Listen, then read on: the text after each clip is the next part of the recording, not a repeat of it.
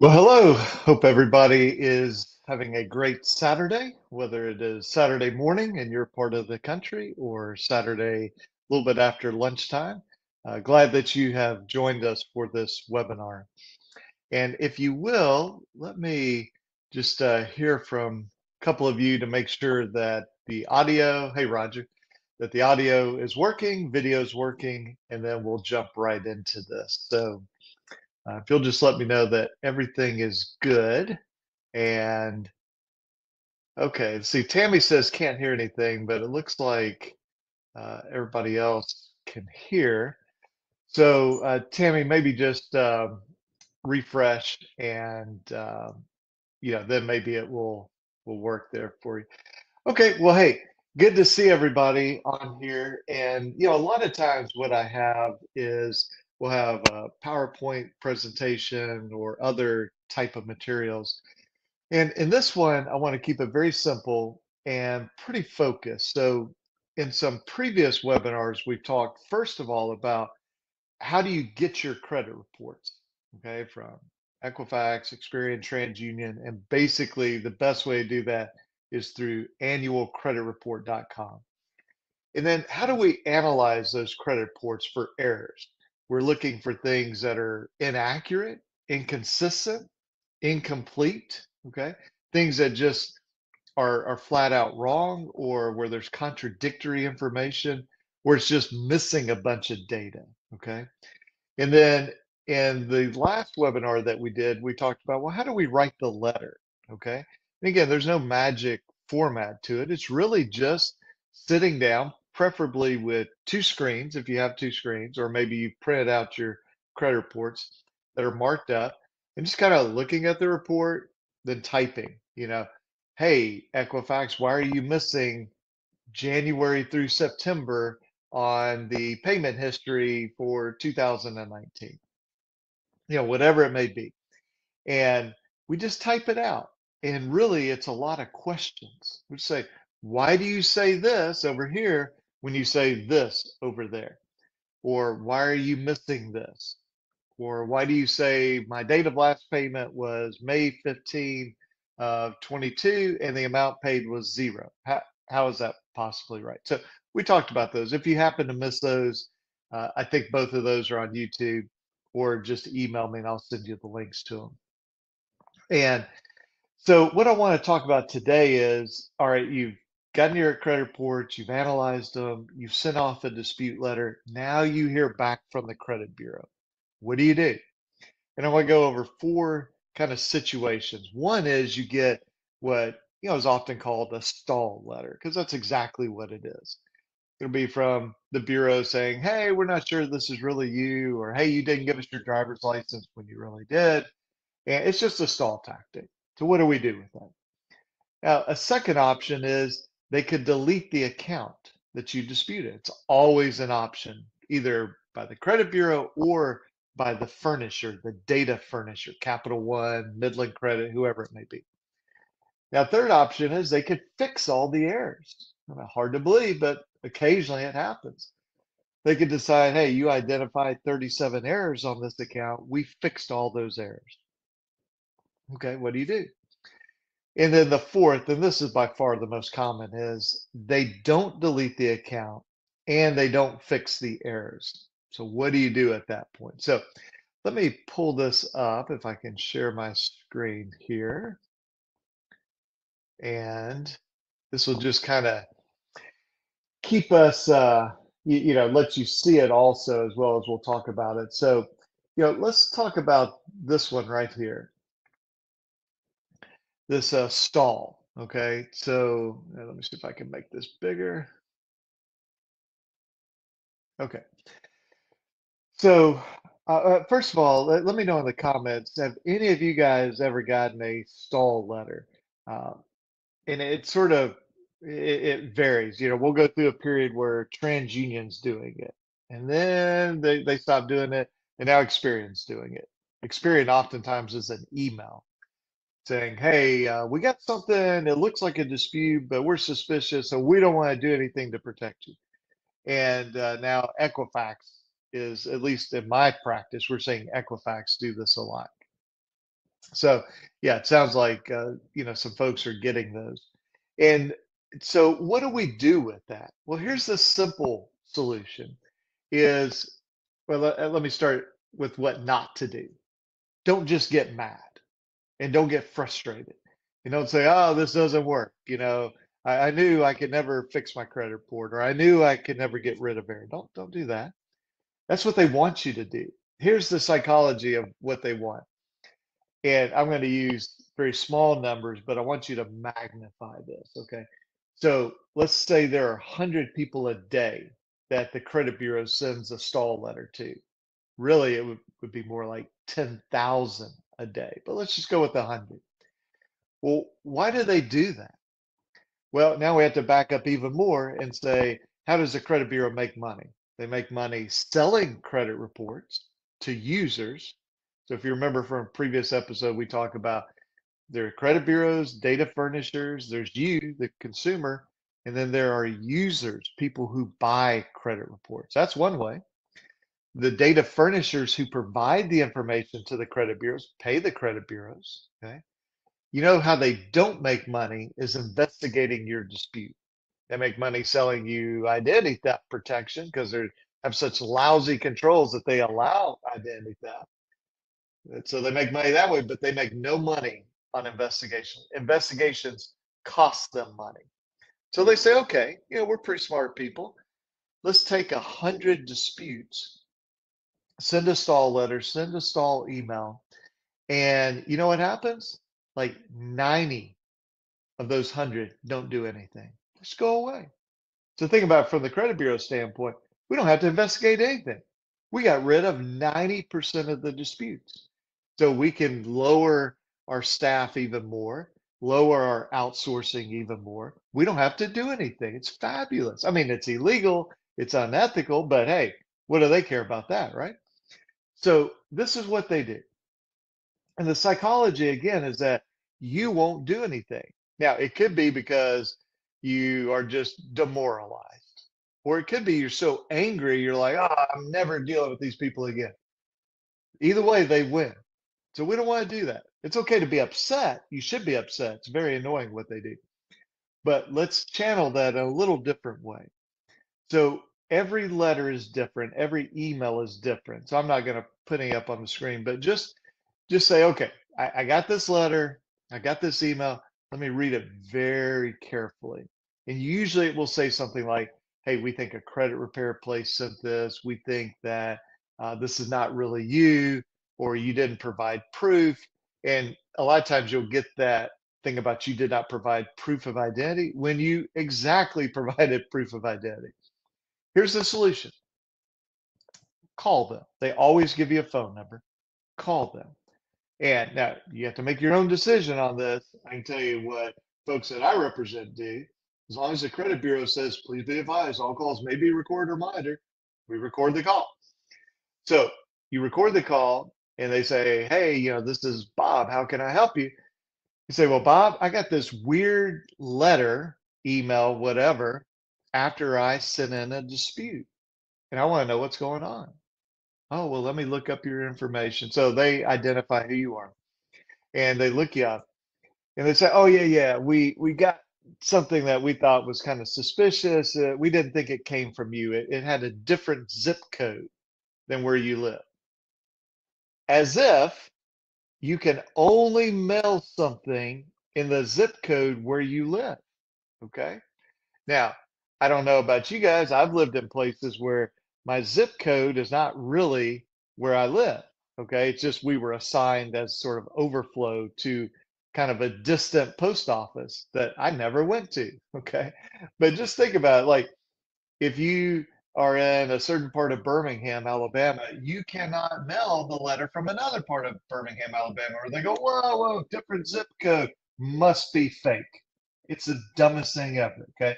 People mail stuff at work, people mail stuff on their way you know running errands. Sometimes you grab letters and you may be going on vacation or a business trip and you drop them in, you know, a, a mailbox at the hotel, whatever it may be. So anyway, it's just it's a stupid thing. Okay, it's a very outdated thing because now we use mailing services like certifiedmaillabels.com. Uh, I think Letterstream is one of them. Uh, there's all sorts of services where you upload the document, they mail it for you. But go back to the phone call. Whatever they say, because they go, well, you know, we didn't think this was really you. Say, assuming it was, you go, yeah, yeah, that's my letter. You know, I, I approve that letter. I, I want you to investigate exactly those things in the letter. Now have your letter in front of you. Now, if you're using a credit repair place that doesn't send you a copy of the letter before it gets mailed out, then I would not call the credit bureaus. I would fix that situation. Okay, do it yourself or get with a place that will actually let you look at the letters before they get mailed out. You should never have anything mailed out on your behalf before you look at it. So but we're going to put that aside. Assume that either you mailed it or you read the letter, you approved it, and you said, Yes, please mail this for me. And, and, whether that's a credit repair company, whether that's your wife, your husband, your kid, your neighbor, hey, can you take this to the post office? Like, this is how ridiculous the credit bureaus get. Like, well, if you did not physically type it, somebody else typed is no good. If you did not lick the envelope, if you did not fold the letter, if you did not lick the stamp, if you did not physically it, it's just ridiculous what they did. So, assuming that you were involved in this process, and they say, We don't think that you sent that letter, you say, I did. I want you to investigate it. And usually they're kind of surprised by that. And they're like, Well, you know, we weren't sure because it was different zip code. Yeah, I used a mailing service. Go ahead and investigate that.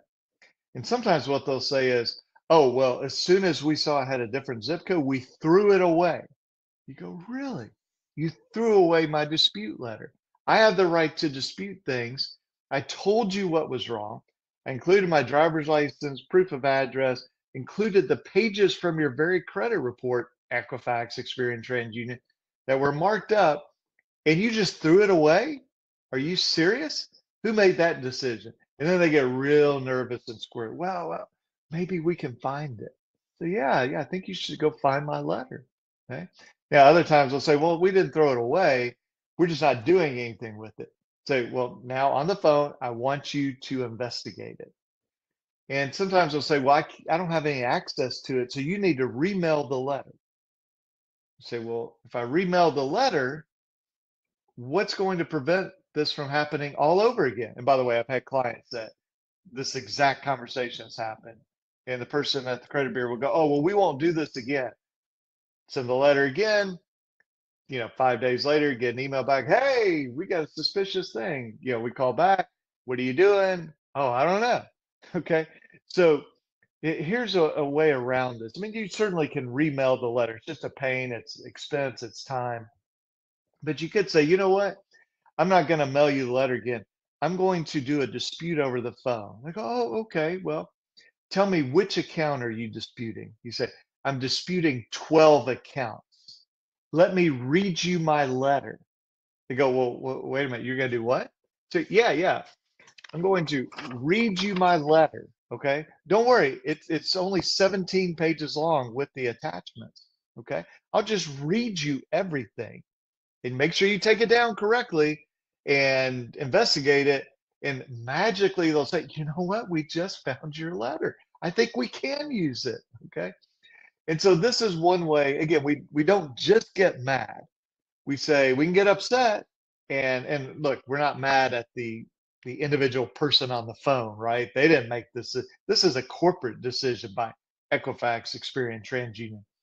But we can be frustrated, and we can be persistent, and we can be the have the attitude of you will investigate these disputes. Okay, so investigate my letter that you have. I'll read you my letter. Okay. Or if you have to, mail it again, but but ask them specifically, say, what do I need to do in this letter so that you will not reject it improperly like you did this last one? And, and let, let me get your name, your full name, your employee ID. I want to put that in my letter that I spoke with you on this date and you told me that it would not be rejected again. Then again, they get really squirrely about that. I'm not allowed to give you that information. And, and look, if they reject it again, and these are valid disputes you've made, at that point you may just want to sue the credit bureau. Okay.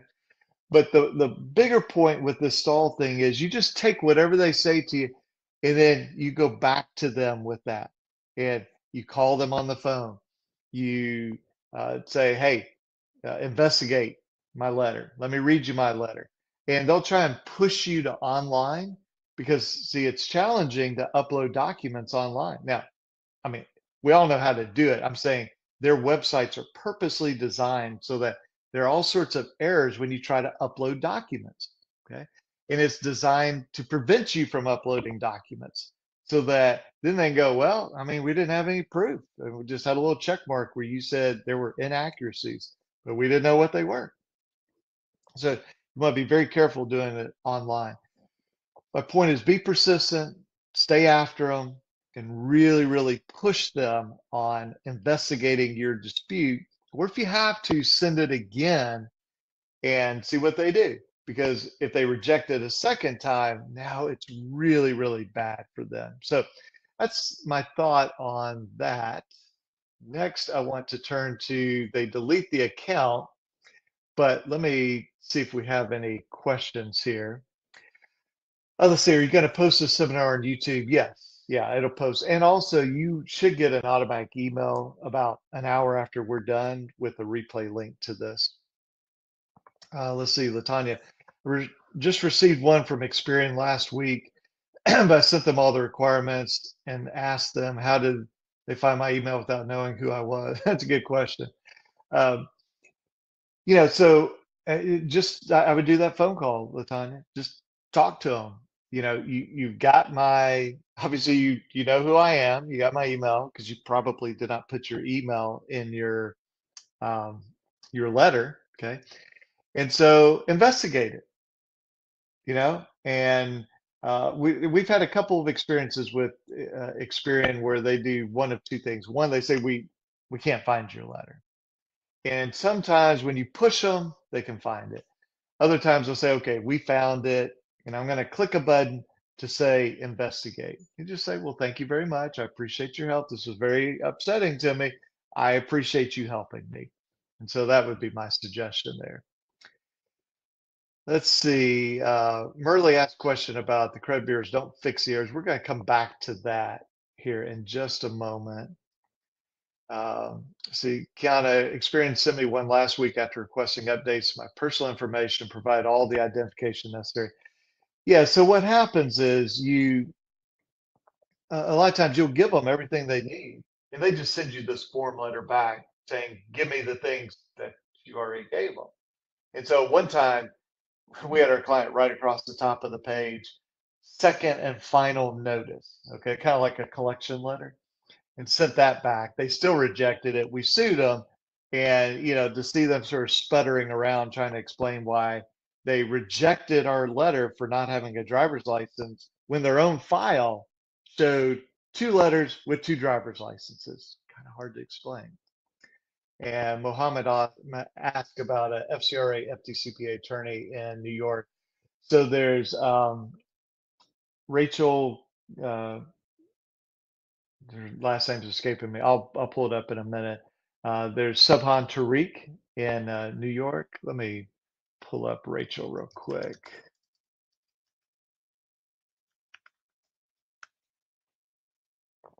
Yeah, Rachel uh, Kugel and um, let me see here. I don't know if this will easily let me copy it. We'll see. I'll put it in the uh, thing here. And um, so let me go on to this next uh, item here, and then we'll come back to the questions. So what if they delete the account?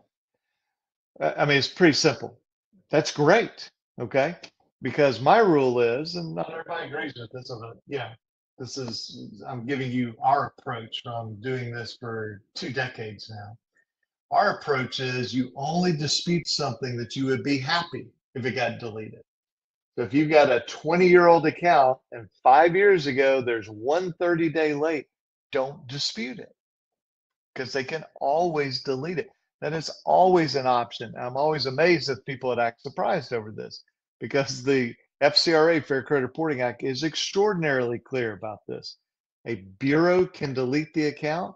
A furnisher, data furnisher, like Capital One, like Bank of America, Chase Bank, whoever it may be, they can delete the account. That's always an option. So if they delete the account, you go, great. Really, the only thing to do after this is just to make a note of it and to be watching your credit report. Sometimes it'll be deleted and then reinserted. If it's reinserted without you being notified by the credit bureau, that's a problem with this sort of caution. On collection accounts, people get confused about this. They say, all right, it was uh, Midland and I disputed it, Midland came off. And then the same debt was reinserted. We say, well, so Midland's back on there? Oh, no, no, now it's portfolio recovery. Well, that's not reinsertion. That's a different company, different account number. Okay. So reinsertion is where you dispute your Capital One account, it's deleted, and then Capital One brings that same account back on. Now you have a claim for that. Okay. But I'll just tell you this it is very rare that that happens. You know, maybe every 50 people that tell me it's happened, when we actually look at it, maybe one. Okay. I mean, it just, it, it doesn't happen very often, at least in my experience. And I look at hundreds and hundreds of credit reports, uh, really a month. So uh, I, I don't think you, it's very likely that that will happen. Okay. But look, deletion is great because when we dispute something, we're saying, I want you to fix it or delete it. That's what we're saying. Fix it or delete it. So if they delete it, hey, that's great. I got rid of this charged off account, this repossessed, you know, uh, car account. Now, keep in mind, the deletion of an account does not mean the debt has gone away. So I think I did a video on this, I don't know, maybe six months ago, talking about the, the cow and the tail. Okay. So the old expression is the cow can live without the tail, but the tail cannot live without the cow, right? It's kind of obvious. I mean, you pull a cow and a tail apart, the cow's still alive, but the tail is not alive. The debt is the cow, okay? The credit reporting is the tail, all right? So we may get rid of the credit reporting, it doesn't make the debt go away. It just means the credit reporting has gone away. Now, if you get rid of the debt itself, if you get rid of the cow, now the credit reporting is going to have to follow, okay? In whatever way that means. Maybe it's supposed to be a zero balance, maybe it's supposed to be deleted but the point is, it gets deleted. Hey, that's a good thing. I would be happy about that. All right, so let's see. Uh, go back to the comments. Yeah, Brian Ponder is. I always forget what Brian. Either he lives in Atlanta, but he's licensed in New York, or vice versa. But yeah, there's Brian Ponder. Uh, probably the easiest place to go to is if you go to this, uh, the consumeradvocates.org has a place where you can search, and then there's a YouTube video in there. Well, I just, I don't know, it's three or four or five minutes just talking about how to use that website. And it doesn't mean everybody in there is perfect. Everybody's going to be the perfect fit for you, but it gets you a start. Okay. All right. Let's see here. Uh, what we've got, uh, Latanya, they deleted one inaccurate count on my letter, but forgot the other count I disputed. Yeah, so we're, we're going to come to that. So it's a great point. So think of your dispute letters like this box, okay? You put all the accounts you're disputing for, let's say, Equifax in there. And then when you get the box back from Equifax and the results of investigation, you say, okay, what'd you guys do? Did you delete all the accounts? Great. Did you fix all the accounts? Great. Did you delete or fix all the accounts? Great. But what if they skip some? Well, that's where we go to the next step here. Well, actually, we'll we'll just cover this briefly. This fix all the errors, okay? And then we'll get to the you know the more interesting part, which is what if they don't delete, they don't fix. So, what if they fix the stuff? Well, you've got to look at a couple things. Did they actually fix all the errors? or just one of them. You know, if I take my car in, I say, I need a new transmission and the front axle's broken and my brakes are out and the air conditioner's not working. And they call me and they say, Hey, your car's ready, come pick it up. And I get there and all they did was fix the AC. I'm like, Well, I appreciate you fixing the AC, but where's the rest of the stuff that you're supposed to fix? the axle, the brakes, the transmission. Okay. So if they don't fix everything, then we've got a problem and they've got a problem. But let's say they truly fix everything. Perfect. You accomplish the mission. If they delete it, you accomplish the mission. If they fix the errors, you accomplish the mission. We can't be upset because we have accurate credit reporting. You know, and, sometimes people misunderstand that. They say, well, I thought I wasn't supposed to have any inaccurate credit reporting. No, you, you can have uh, uh you can have accurate credit reporting as long as it is negative. And let me just say that the other way. You can have negative credit reporting as long as it's accurate. Accurate credit reporting, negative or positive, that's fine as long as they stay within the rules. Where the problem is, is when it is negative and it is inaccurate, then they have a problem. Because if you disputed it properly and they come back and they don't fix every error, then we're at this final stage here. And I'll go ahead and I don't think we need to keep sharing this here. I can remember how to, uh, yeah, to stop sharing it. So let's talk about the most likely thing. We've talked about what they stall, what if they delete, what if they fix, what if they don't fix, they don't delete. So you've got a couple options here. One option would be that kind of like we talked about with the stall letter, pick up the phone, you call them. Okay. Easiest thing is put this on um, uh, put it on speakerphone and then record it on your laptop, your tablet, another cell phone. And again, you have to make your own decision on recording. But you just go through, and we we did a whole session on this, but here's the short version. You go through and you say, "Tell me what you did." I, I got these results of investigation back. Tell me what you did in your investigation. They'll say, "Well, what, what, what do you mean? We investigate." Go, I understand that, but what did you do? Did you call somebody? Did you write a letter? Did you send an email? Did you go visit Chase Bank? Like, tell me what you did. They go, oh well, we uh, we passed your letter along to Chase Bank. So okay, what else did you do? Well, that's it. They came back and told us what to do. And a lot of times, the people over the phone will be very honest about this. They'll say, look, we don't do anything I mean, we just send it to the furnisher and whatever they tell us to do, we do. Now, it's very much against the law. We love to have that testimony. Okay. That's why a recorded phone call can be so powerful. And so that's one option. Another option is you could send another dispute letter. Okay. And you might reference the first one, say, This is my second time disputing this. And you know, I, I told you these 27 errors, you fixed two of them. What about the other 25? Or like uh, I think Latanya mentioned, uh, hey, you did delete that one Capital One account, but what about that other Capital One account? You know, why didn't you do anything with that? Let me tell you again what's wrong. Now, I think I mentioned this in another video. In my practice, we always want the original credit report, and then that is what creates the dispute letter. And then we get the results. And then we get another credit report, okay? So that you have sort of the full picture here and know exactly what they did, what they did not do. And so you you just type all that up, okay? You know, you might include your first dispute letter if if it's appropriate. And so you do that. So you could call them and dispute over the phone. You could write them another letter. You could obviously do both. You could call them, they don't fix it, you write another letter. You know, I mean, you can do as much as you want. But another option is to sue them. Okay. And that's where you're suing under the Fair Credit Reporting Act.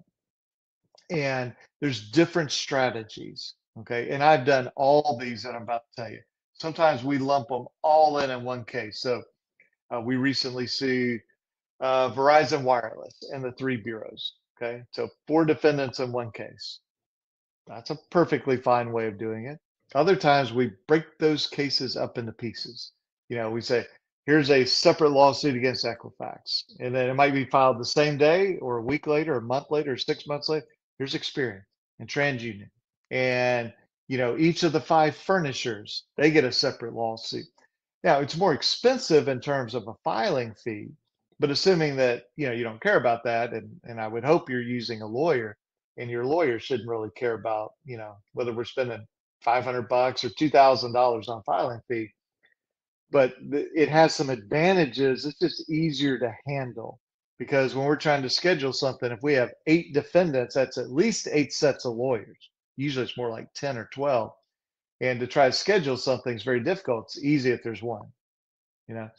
And plus, each defendant has to stand on their own instead of kind of like, uh, well, I'm not a NASCAR fan, but what do they call it? Where you're like drafting behind the car. What we see is, you know, one defendant will kind of take the lead and the rest just fall in line. Well, if you sort of strip all that away and they they are sued individually, they can't do that. Okay.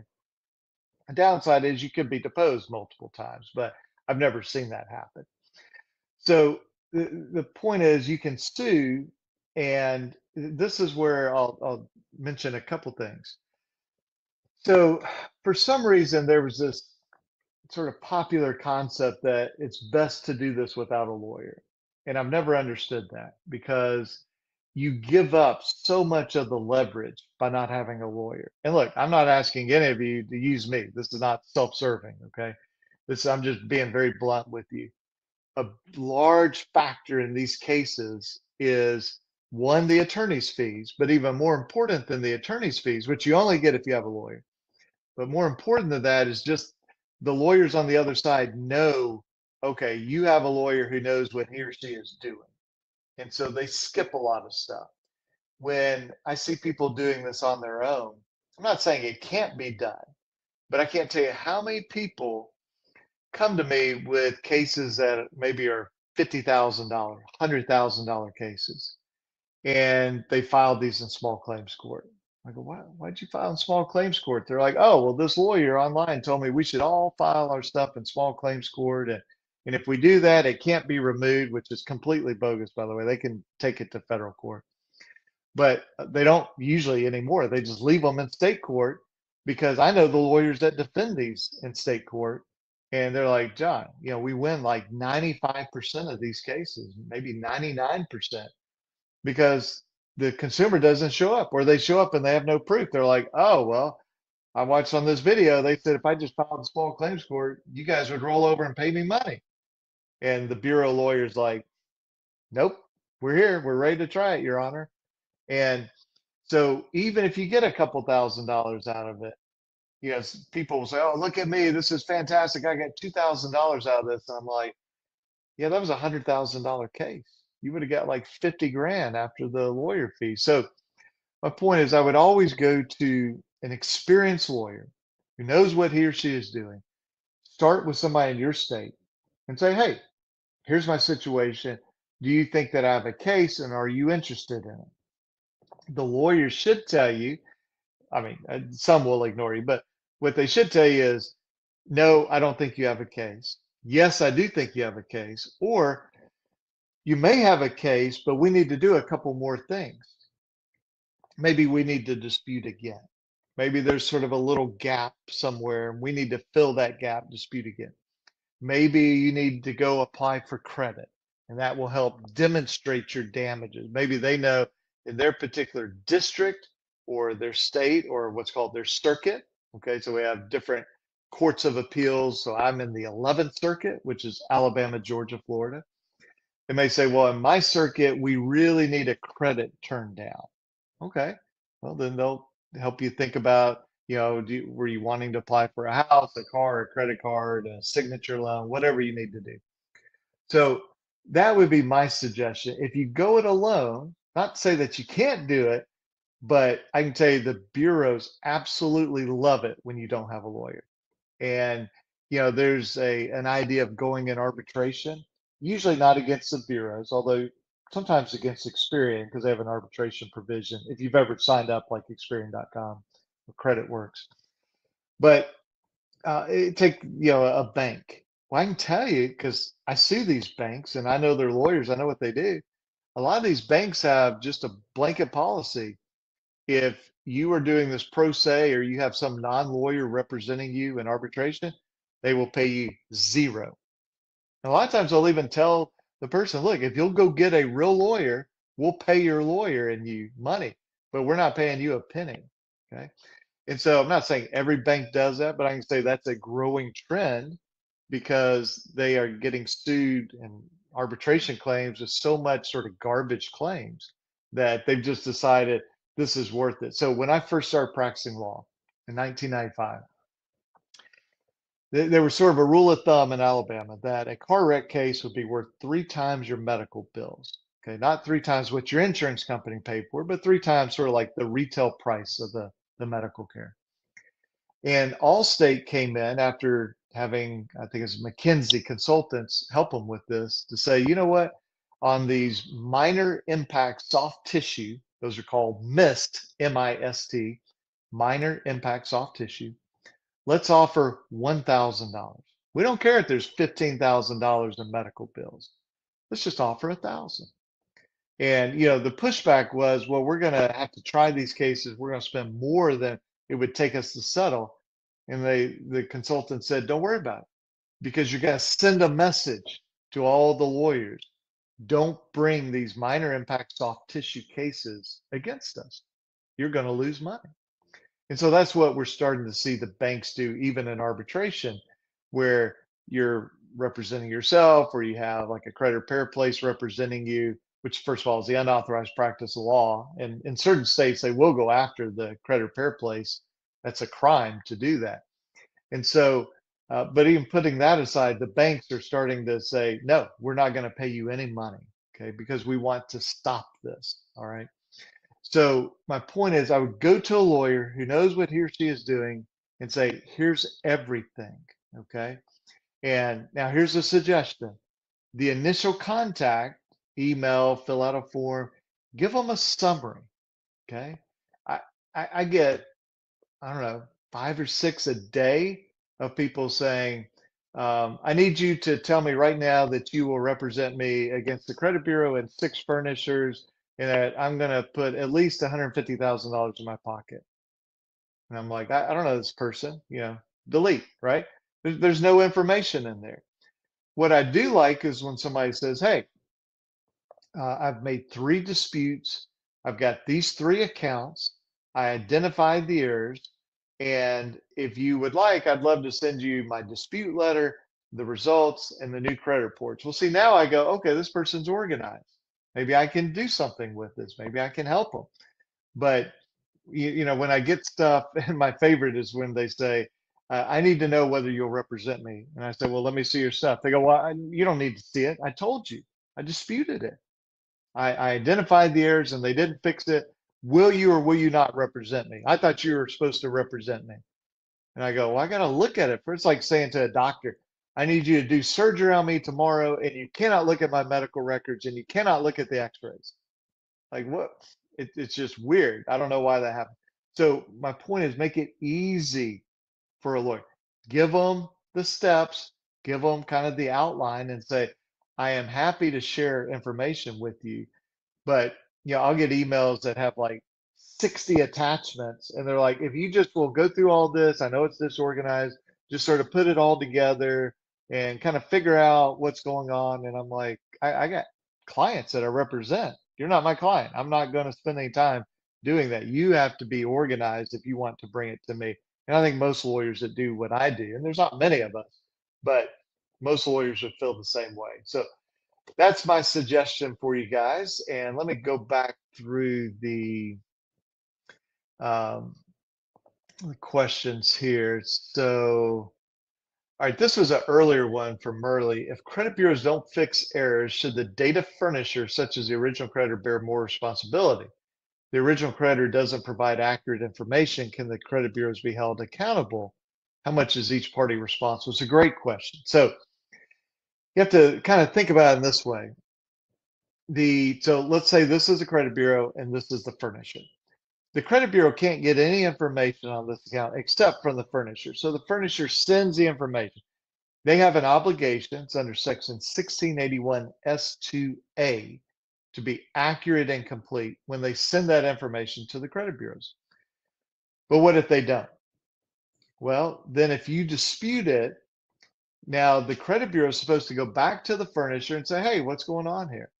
But if the credit bureau either before that or once the furnisher responds says, you know what, this doesn't look accurate, this doesn't look complete, You're supposed to delete. Okay. So as a friend of mine, Mike Cardoza says, if it's incomplete, you must delete. All right. And so in that situation, they bear equal responsibility. Okay. From the standpoint that, yes, the furnisher, when they're notified by the credit bureau that you dispute merely, they have to do their own investigation and they need to tell the credit bureau, here's everything that's accurate and complete, or they should tell the credit bureau, delete. The credit bureau should look at it, say, is this accurate? Is this complete? Is this verifiable? And if not, delete it.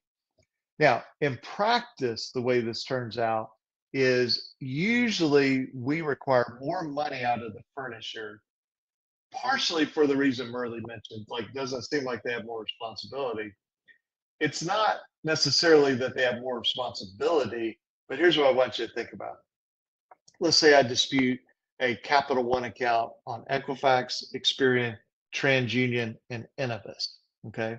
And those four bureaus notify Capital One. And Capital One is reporting inaccurate, incomplete information. And they get four separate notices from those four bureaus. And each of those four times, Capital One says, keep it, keep it, keep it, keep it. Okay. We're not changing anything. And they're leaving it inaccurate, incomplete. So let's think about this for a minute. Are the bureaus at fault? Absolutely. If you point out to them, you've circled stuff, you've drawn arrows, you you know marked up the credit report, and they can see from their own data that it's inaccurate, incomplete. Well, then each bureau is responsible for that. But think about Capital One. Four times they sent inaccurate, incomplete information. Now you can't sue for the initial sending of the data, okay? Because that's under that 1681 S2A. There's no what's called private right of action. You can't sue for it. But once you notify a bureau who then notifies the furnisher, now you're under 1681 S2B. And that you can sue for if the, the furnisher does not make sure that it's accurate and complete. So in my example, they blew the law, even though you can't sue them, you know, those first four times. But then they messed it up with Equifax, Experian, TransUnion, and Innovis. So four times. Plus, they have a contract with each one of those credit bureaus where they promise to only report accurate and complete. So they violated the law, 1681 S2A. You can't sue for it, but they still violated law. They violated the contract and they violated 1681 S2B. So from that standpoint, we look at that and we say, yeah, each bureau who did not delete or make accurate, each bureau is responsible and Capital One's responsible. Now, are they four times as responsible? Do we make them pay twice or three times? Well, it varies. Okay. Sometimes they are providing accurate information to the bureaus and the bureaus are messing this up. Well, now it's all going to be on the bureaus, not on Capital One. So it does depend, but it's a very good question. Hopefully that gives you some insight in it. All right, let's see here. Um, uh, Lakeisha said, first time here, I have to leave. Can a funeral replay be available? Yeah, so uh, you should get a replay link, and I'll also put this on YouTube uh, when I get a chance. All right, uh, Latanya, can you go over comparisons disputes with the CRAs? So I think what, and maybe this is a follow up, I disputed with PRA about the inaccurate information. They told me they aren't responsible for what the CRAs do with the information they report. So I, I think what you may be talking about is, hey, what if we sort of lay all these credit bureaus side by side and they have different open dates, they have different dates of first delinquency, which actually Equifax is the only one that gives you the date of first delinquency. A TransUnion Experian will give you a, a, either an estimated date or they'll just say this is when it will be removed. Uh, there may be a different last payment amount, or you know, we just did a dispute I think two days ago where we said, hey, Experian, you say in this month we were current, but TransUnion says we are 30 days late, and Equifax says we are 60 days late. I don't know. like maybe none of those are right, but only one, the, at most, one can be right. So I need you guys to get together. So, you know, we point this out to all the bureaus and to the furnisher, like, hey, what's going on here? So that's certainly a way to do it. It takes a little bit more time to kind of compare each bureau. Now, it's easier if you're using something like uh, Identity IQ Smart Credit that you know lays everything out. The problem is, in my experience, the data is not very accurate, and it's not the real data. Okay. So it, it's super easy for Equifax to go, yeah, you go, well, look, here's my smart credit or identity IQ or fill in the blank. And they go, not our data. Okay. And I've compared, you know, the real reports with those, and there's a reason I don't use those. Okay. I've tried them and they're very nice looking. They're very convenient, certainly very easy, you know, for software to kind of pick out errors. But the problem is if the data is bad, like, you know, in the, the, you know, sort of tri-merge report, then your dispute letter is going to be bad. So we need the real data from Equifax, the real data from Experian, the real data from TransUnion.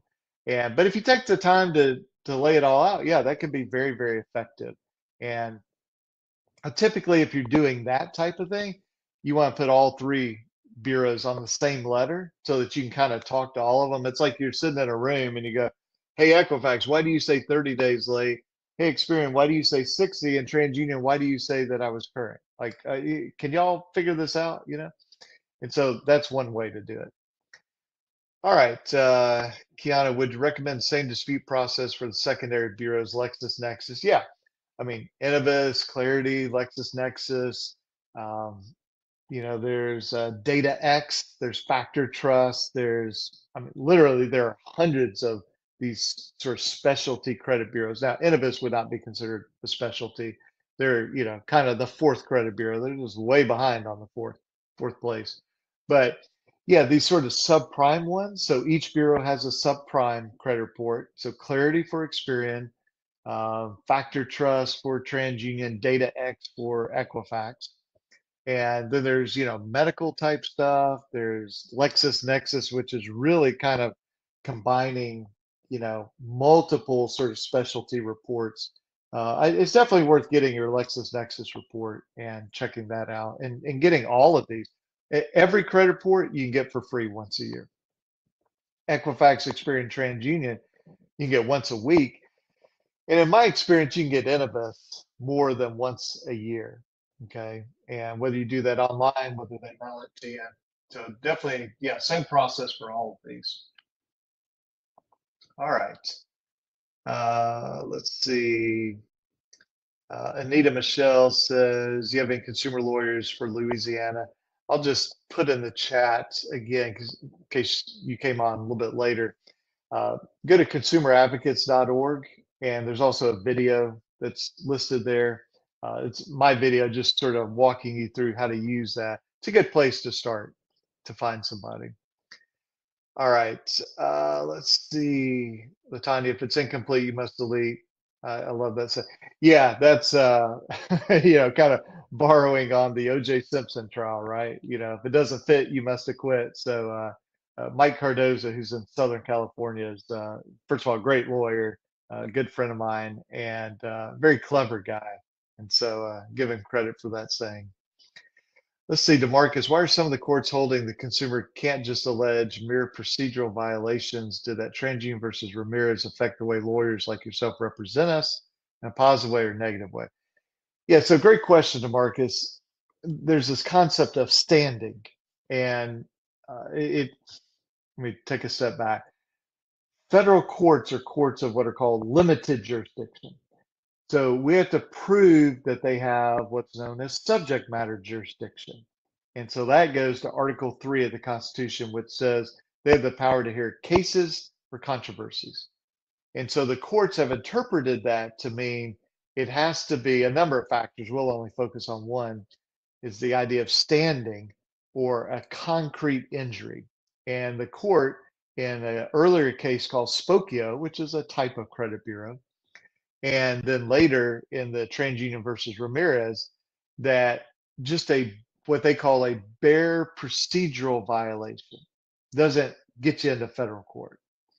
So now, if you've alleged damages, okay, that almost always counts. But you ask how it's affected us. Uh, a lot of consumer lawyers, there are cases they used to take, they no longer will take. And and, and look, I'm not critical of anybody's approach. I'll, I'll just tell you the approach we've taken for many, many years, and that I was sort of pounding the the drum on this for many years, and people thought I was crazy, and now suddenly maybe I'm not so crazy. we've been preaching for so long, you file these cases in state court. And if the defendant leaves it in state court, great, you're in state court. I mean, you get a jury trial, state court judge can handle a Fair Credit Reporting Act case just fine. Normally, they will remove the case. So here you are in state court, they'll take it, remove it to federal court. Well, let's go back to what I said. To get into federal court, you have to prove it's a case or controversy. And one of those things is you have to have standing, which means concrete damages or injury. Well, if I file the case in federal court, guess who bears the burden of proving standing? It's me. And any point throughout the case, if the judge goes, you know, I don't think you have standing, boom, case is dismissed. Now, it's not dismissed with prejudice. It's not that they rule in favor of the defendant. They just go, we don't have power to hear this case. You have to leave this court. Some states have, I'm getting a little bit in the weeds here, but some states have what's called a savings clause. It says if you get kicked out of federal court for lack of standing, you have X period of time to refile the case in state court and you're okay with statute of limitations. My state doesn't have that. Alabama doesn't have that.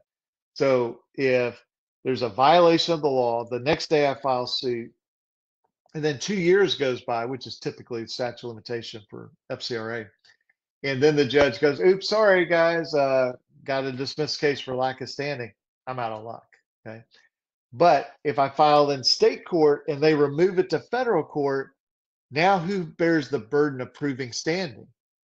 Not me. I didn't ask to be in federal court. So the way I, you know, will mention this to judges is, you know, it's whoever. Eh, hopefully you can hear that. It's whoever knocks on the door, of the federal courthouse. They have to prove standing, not me. So we have defendants that will remove a case to federal court and then say, Judge, there's no standing. And we're like, okay, you didn't think that through very well, did you? Because you told the court when you t- took the case into federal court there was standing, and then you immediately say there's not standing. Some judges will sanction the defense lawyers for doing that because it's absurd, you know, to say, Judge, this belongs in federal court. And by the way, Judge, this can never stay in federal court. What are you doing? You're wasting time. So what we find is we file them in state court 99% of the time it gets removed. I don't care if it doesn't get removed. If it gets removed to federal court, then and I tell the lawyers this, they go, why do you file everything in state court? I said, because I never want to hear the word Spokeo, or now the case people talk about is the Ramirez case. I never want to hear those words come out of your mouth. And they kind of laugh a little nervously. They're like, oh, okay, that makes sense. I'm like, yeah, we're not doing standing here. The moment you breathe a word about standing, I'm going to say, Judge, I'm ready to go back to state court. And see, these lawyers typically are terrified of being in state court. There's some comfort for them to be in federal court. This federal court, although it does differ by place, it's pretty uniform. Okay. But maybe totally different in Alabama state court or Wyoming state court or New York state court. So to answer your question, it hasn't affected what we do because we've been doing this a long time, and uh, but it has affected the way other lawyers practice. Let's see, Mohammed, New York majority attorney are not helpful. Well, sorry to hear that. Maybe check out the ones I mentioned. Uh, I know Subhan uh, Tariq does a lot of FCRA work. Um, and I mean, there's got to be probably 20 lawyers in New York that do stuff. I would just check out that NACA website. All right, what are the next steps after the credit bureau doesn't do an investigation, respond is validated? Well, it's a great point, James. I guess I should have put that on our list. What if they just don't respond at all? Well, then you want to make sure you can prove they got your dispute. Now, if you send it regular mail, you can't prove it. There's sort of the idea they probably got it, but you can't prove it. So we send everything certified mail. Okay. Uh, but if they don't respond, you could call them. Hey, I sent you guys a letter, and let me see here. Uh, got delivered on June the 8th. I haven't heard back from you. Did you guys get my letter? Did you investigate it? Can you send me the results of investigation? Uh, or you may just want to pull a new credit report after the period of time for them to investigate. And then you kind of compare that with your letter, right? And you say, well, I disputed these accounts. They fixed nothing, deleted nothing. Okay or maybe they deleted a couple but not all and then you go through the same process so i'll just tell you with experian maybe 50% of the time, we never get results of investigation. I don't care. You know, we give them the time period, then we pull a new credit report. Whatever's not fixed, not deleted, we see. And we're like, apparently they didn't even do any investigation. Okay. But even if they did and forgot to tell us, they didn't fix everything. Now, sort of the caution I'll give you the danger if a credit bureau does not do an investigation is they would not then notify the furnisher. So remember, you send a letter to the furnisher, they're supposed to, I mean, the uh, the bureau, they're supposed to notify the furnisher. If they don't notify the furnisher, you can't sue the furnisher. Now, if you send a letter to Equifax, Experian, and TransUnion, and only Experian doesn't notify, but Equifax and TransUnion do notify, and and stuff doesn't get fixed on Equifax and TransUnion, yeah, you can still sue the furnisher. But if let's say there's an error only on Experian and Experian does not notify the furnisher, you can't sue them. So this is also a reason why, kind of getting into the details of the strategy, but it's a reason why we start off suing the credit bureau. And then we say to the credit bureau, did you investigate or did you not? It's really bad if they don't investigate, assuming we have a legitimate dispute. Now, if we have a bogus dispute, doesn't matter. But if we have a legitimate dispute, they don't investigate. It's a big problem for them. Let's say they go, oh, sure, we investigated. And we sent the ACDV, the Automated Consumer Dispute Verification Form, to the furnisher. And we go, okay, give that to us. And we get it back and we see it was sent in a timely manner and Capital One responded to it. Well, then when we sue Capital One in a separate suit, instead of kind of having to guess and say, we, it's called pleading in the alternative, um, where we might say, well, they were notified or they weren't notified. If separate suit against the furnisher, we would only say they were notified. But rather than just saying that, it's much better to say, if they were notified by Experian on June the 12th at 2.33 p.m., and they responded on this date, when the the Capital One or whoever gets that lawsuit, they're like, oh man, they got all the documents. So it's another reason. Sue the credit bureau, get the information, then sue each furnisher separately. So hope that helps you there. All right, uh, Mohammed, what should you use? Annual credit report or Experian, Equifax, TransUnion? I, I prefer annualcreditreport.com. Um, Equifax.com, unless it's changed recently, makes it hard to sort of print out your whole report. Uh, TransUnion looks fine. Experian looks fine. You you may get tied up in some arbitration provisions, which you know it's not my favorite thing, but we deal with arbitration a lot. Uh, but I just like to go to annualcreditreport.com. I think you get the most data, which is what you want, because the most data means you can find the most number of errors, the most number of incomplete, and that gives you a basis to dispute. So I prefer annualcreditreport.com. You can go once every seven days for each credit report there. So it's fabulous.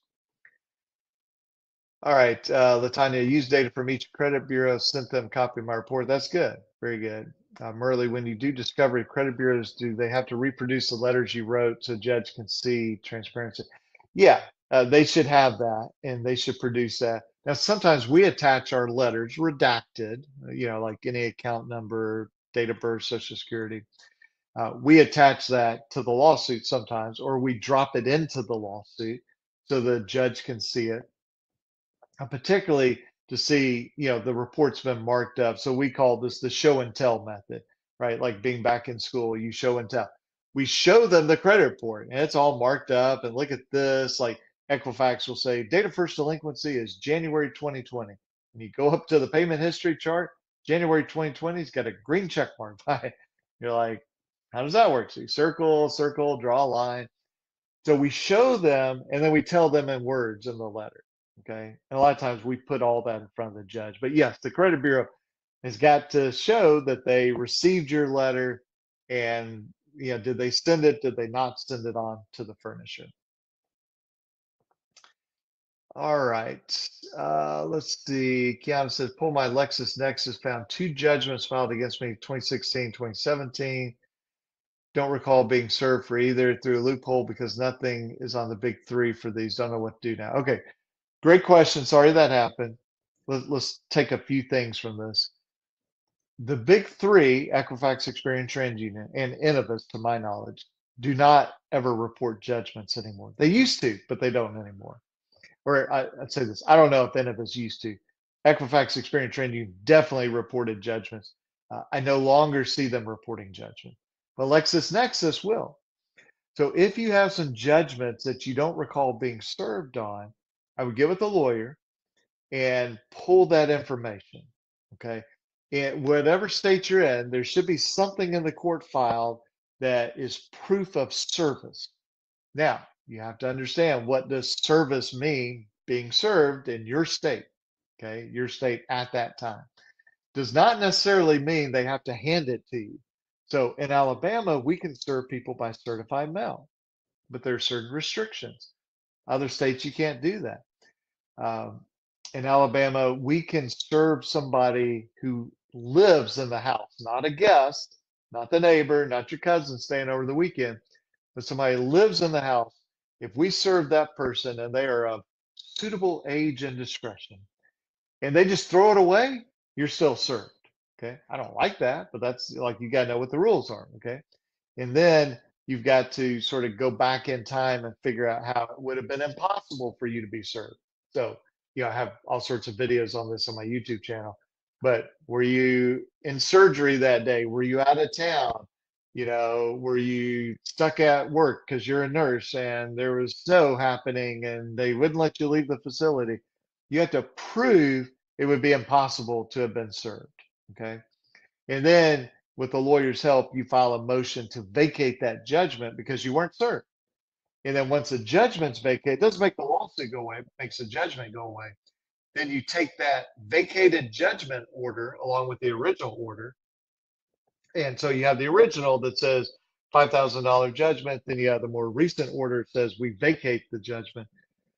And you send that to LexisNexis and you say, look, you guys were reporting this judgment. It's no good. I, you know, challenge this judgment. The judge agreed, vacate it, now get it off. They get it off, great. They don't, you sue them. Okay. All right, let's see. Uh, Latanya Child Support doesn't put any date of first delinquency on purpose, keep the account reporting. Any thoughts on this? Well, I'll say this. If it's negative, okay, I, I suppose child support might be positive, but every time I've seen it's negative, it has to have a date of first delinquency, unless there's something that I'm just not aware of with child support. Uh, but I'm trying to think if I've ever had a child support credit bureau case. I'm not sure I have, okay, but I don't ever remember seeing anything that says here's an exception for child support.